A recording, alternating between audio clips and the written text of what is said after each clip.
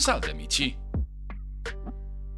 Se in passato per i lavori pesanti venivano utilizzati animali domestici e semplici macchinari con leve e argani, oggi l'umanità dispone di macchine e meccanismi incredibili in grado di svolgere lavori estremamente complessi. Escavatori, caricatori, gru mobili e fisse sono familiari a tutti, ma le macchine mostruose di proporzioni davvero gigantesche vengono spesso create solo in piccole quantità e non tutti possono vederle con i propri occhi. In questo video imparerete a conoscere i macchinari giganti più incredibili del mondo.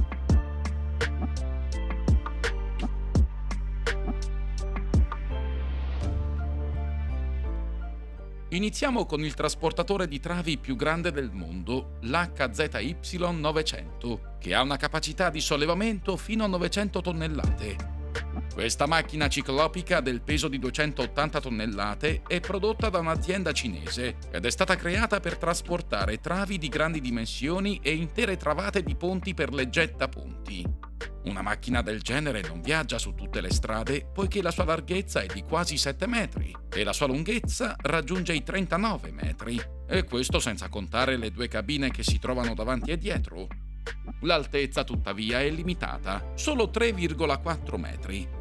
Questa macchina, che sembra un mille piedi gigante, è alimentata da due motori diesel da 563 cavalli, situati nella parte posteriore. I motori generano elettricità, che viene poi trasmessa a 32 paia di ruote, disposte su 16 file per entrambi i lati del veicolo. In totale, quindi, questo trasportatore di travi ha 64 ruote. Ogni coppia può girare in modo indipendente, quindi la macchina si guida abbastanza facilmente, anche se bisogna tenere conto che il suo raggio di sterzata è di circa 38 metri. Questo trasportatore di travi è stato creato per trasportare travi e capriate di ponti con una lunghezza di 20, 24 e 32 metri e un peso fino a 900 tonnellate. Senza carico, una macchina di questo tipo può raggiungere una velocità di 12 km h a pieno carico 5 km h Questo macchinario ama le strade piatte la pendenza non deve essere superiore a 5 gradi. Inoltre l'HZY900 deve muoversi su strade asciutte, con una superficie dura come asfalto, cemento o terreno densamente compattato, senza tracce di olio o altri liquidi, che possono causare lo slittamento delle ruote. In sintesi, non è un fuoristrada, ma se la cava abbastanza bene per i compiti per cui è stato progettato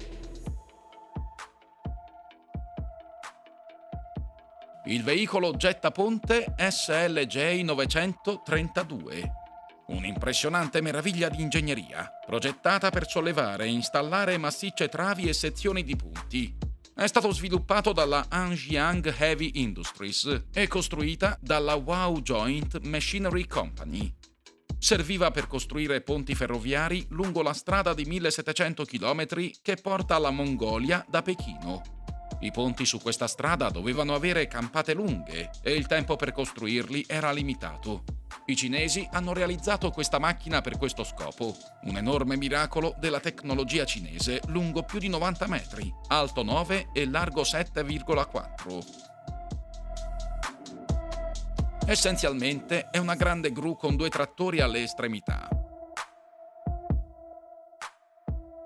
Le travi scorrevoli sostengono le campate di cemento e quando si muovono si assistono a vicenda. La massa del gigante è 580 tonnellate. Può lavorare con strutture in calcestruzzo che pesano fino a 900 tonnellate. Ha quattro segmenti separati di 16 ruote che ruotano di 90 gradi. Si muove a 8 km all'ora senza carico e 5 a pieno carico. Sembra strano, ma è una macchina abbastanza manovrabile. Negli ultimi anni i veicoli gettaponti sono diventati sempre più popolari, ma inizialmente venivano creati per la costruzione di oggetti specifici, cioè la struttura stessa veniva realizzata in base alle dimensioni e alla larghezza delle campate, al raggio di curvatura e ad altre caratteristiche, e talvolta erano necessari più veicoli gettaponti per lo stesso oggetto. In seguito gli ingegneri hanno fatto sì che un singolo veicolo gettaponte potesse trasformarsi, L'SLJ 932 è stato sviluppato all'inizio del 2011 e da allora è stato usato con successo in vari progetti di costruzione in tutto il mondo. Ha dimostrato la sua efficacia nel corso degli anni.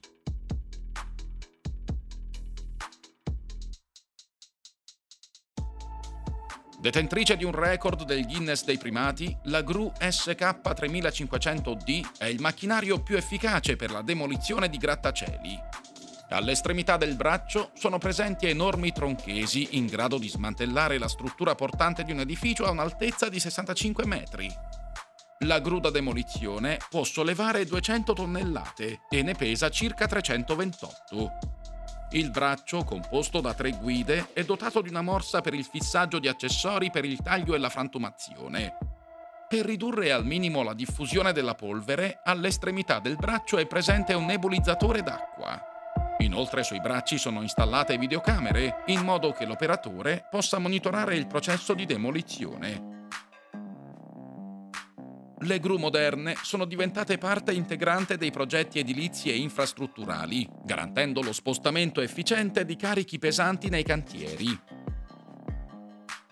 Esistono molti modelli impressionanti di gru semoventi in tutto il mondo, ma la Liber LR 13000 è l'incarnazione dell'eccellenza ingegneristica.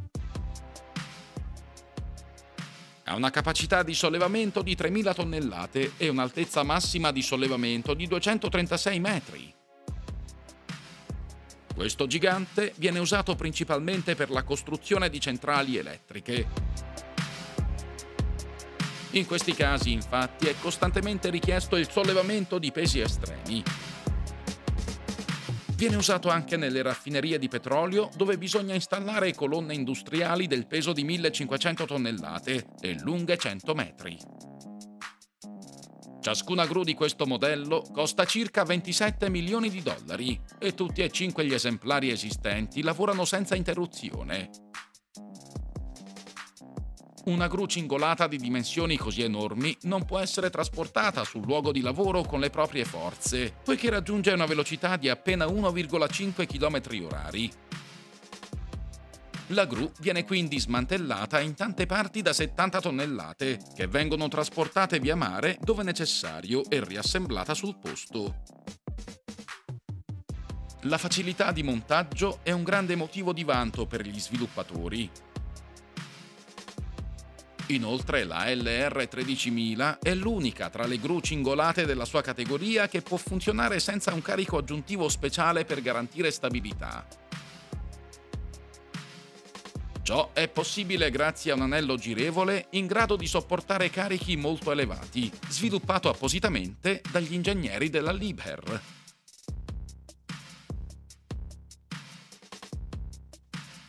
Anche il nostro prossimo eroe è una gru, ma vola. Vi presentiamo la gru volante Sikorsky S64, un gigante lungo 27 metri, in grado di sollevare enormi carichi in aria. Diamo uno sguardo. L'elicottero simile a una libellula ha caratteristiche impressionanti. Una capacità di sollevamento massima di 10 tonnellate, con un peso di appena 9, un'elevata manovrabilità e una velocità di salita di circa 7 metri al secondo. Tutto ciò lo rende un vero campione nella sua categoria. Il primo volo di questa gru volante, equipaggiata con due motori a turbina a gas Pratt Whitney da 4500 cavalli ciascuno, fu effettuato nel 1962. L'elicottero è stato originariamente progettato per l'esercito americano ed è dotato di un carrello di atterraggio alto a tre montanti con sostegno anteriore, la particolare struttura dei sostegni ammortizzanti consente all'elicottero di sedersi a 20 cm sul carico per poterlo successivamente agganciare. La sua struttura consente di installare, o meglio appendere sull'elicottero, vari tipi di piattaforme, cabine per il trasporto merci e passeggeri, carichi di grandi dimensioni, container e altro. La gru volante è adatta anche per il trasporto di merci con un'imbracatura esterna. Un ponte argano idraulico consente di sollevare i carichi in bilico senza necessità di atterrare. Oltre ai due normali sedili del pilota, l'elicottero è dotato di un ulteriore sedile rivolto all'indietro per il monitoraggio e il controllo dei processi di carico e scarico. Tutte queste qualità e la grande affidabilità hanno permesso alla gru volante di passare all'uso civile all'inizio degli anni 90. Da allora questi velivoli sono stati usati per trasportare diversi tipi di carichi pesanti, anche il legname da zone montuose difficili da raggiungere, e sono stati usati nella lotta contro gli incendi boschivi. La versione antincendio è equipaggiata con un serbatoio con una capacità di 10.000 litri si è comportato così bene nel domare gli incendi che è stato impiegato non solo negli Stati Uniti, ma anche in Grecia, Italia e Australia.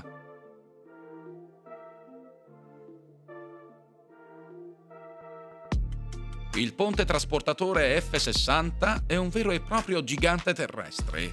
Il macchinario viene usato per l'estrazione e il trasporto di rocce e minerali dal sito di scavo ai veicoli da trasporto. È lungo 500 metri e pesa 365.000 tonnellate, più dell'Empire State Building e della Torre Eiffel.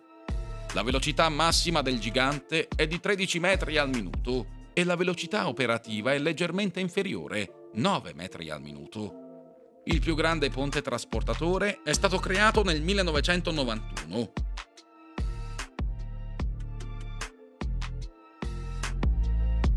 Dopo 13 mesi di attività nella miniera di Kletwitz Nord in Germania, i lavori sono stati interrotti e l'F-60 è ancora lì.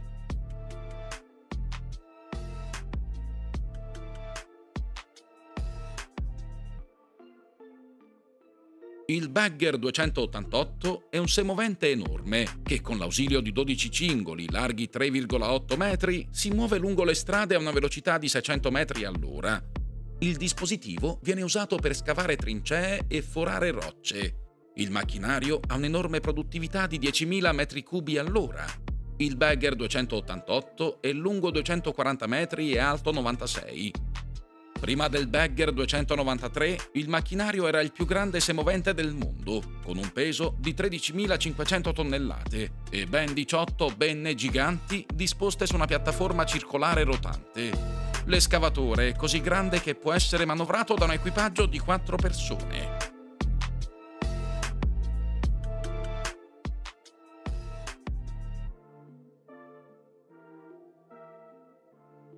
Il bulldozer Komatsu D575A è un'enorme macchina da costruzione progettata e prodotta da un'azienda giapponese. Questo trattore viene prodotto dal 1989 e supera tutti i suoi concorrenti sia in potenza, raggiunge 1150 cavalli, che in peso, 152 tonnellate.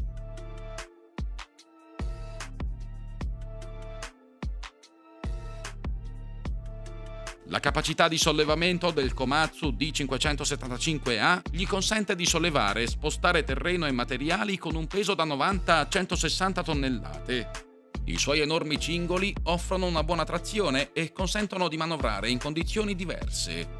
È lungo circa 12 metri, ma ciò che colpisce di più è il gigantesco volume di scarico di 96 metri cubi.